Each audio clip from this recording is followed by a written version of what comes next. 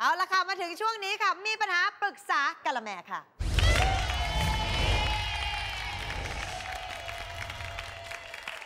คำถามวันนี้ หลายคนเป็นค่ะ ถามมาว่า หนูเป็นคนไม่ชอบกินผักค่ะพี่ อยากรู้ว่าถ้าไม่กินไปตลอดชีวิต จะเป็นอะไรไหม เออ วันนี้เราไปถามคุณหมอมาให้ค่ะ เชิญค่ะ ผักเนี่ยจริงๆแล้วเป็นแหล่งหลักๆ ของเส้นใยอาหารกับพวกสารต้านอนุมูลอิสระวิตามินต่างๆ เช่น วิตามินซีโฟลิกทั้งหลายนะคะ ทีนี้ถ้าเราไม่รับประทานผักเลยเนี่ยเราก็จะได้รับเส้นใยอาหารไม่เพียงพอ พอได้รับเส้นใยอาหารไม่เพียงพอ ก็จะเสี่ยงต่อการท้องผูก หรือว่าลามไปถึงเรื่องของมะเร็งลำไส้ได้นะคะ ส่วนสารต้านอนุมูลอิสระก็มีความสำคัญเช่นกัน เราได้รับสารต้านอนุมูลอิสระไม่เพียงพอ เราก็จะแก่เร็วหรือเพิ่มความเสี่ยงต่อโรคต่างๆ ได้ เพราะฉะนั้นสิ่งที่ควรทำก็คือ 1. ต้องหัดรับประทานผักนะคะ อาจจะเริ่มจากผักที่ทานง่าย ๆก่อนนะคะ ไม่เหม็นเขียวนะคะ แล้วก็ 2 คือทานผลไม้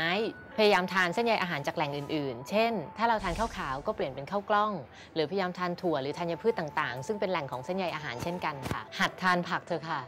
นะคะหัดทานผักเถอะค่ะเพราะว่ามันเป็นสิ่งที่สำคัญมากๆนะคะ กับการดูแลสุขภาพ หมอคิดว่ามันไม่มีอะไรที่ยากเกินไปหรอกสำหรับเรานะคะ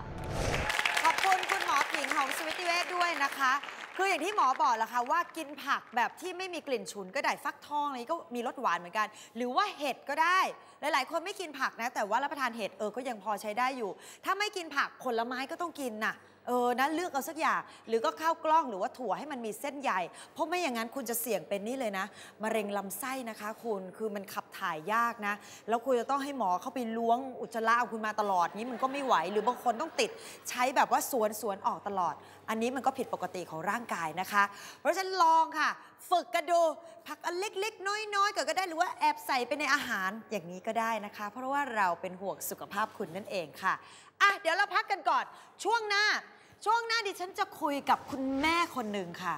ใครๆก็อยากจะเลี้ยงลูกด้วยน้ำนมของตัวเอง แต่คุณแม่คนนี้ประสบภาวะไม่มีน้ำนมเพียงพอให้กับลูก เธอจะเป็นใคร แล้วเธอจะทำยังไง สักครู่เดียวค่ะ